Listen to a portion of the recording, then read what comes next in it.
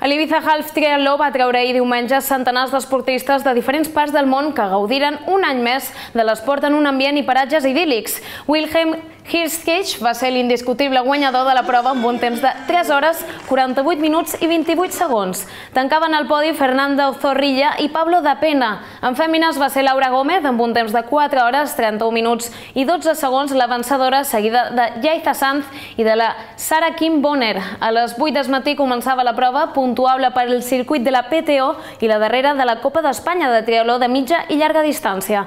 Els participants van nedar 2.000 metres amb sortida i meta Figuereta atletes varen recórrer 90 quilòmetres en bicicleta i 21 de cursa a peu, una autèntica forma de competir i gaudir d'Eivissa.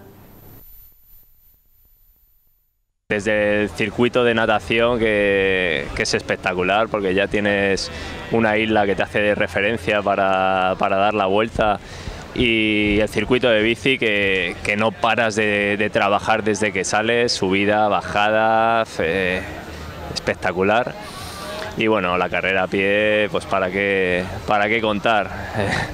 Eh, Avenida España, Paseo Marítimo, El Castillo, lleno de gente por todos lados, animándote todo el mundo. Eh, es un broche de oro terminar la carrera, eh, terminar la temporada con esta carrera.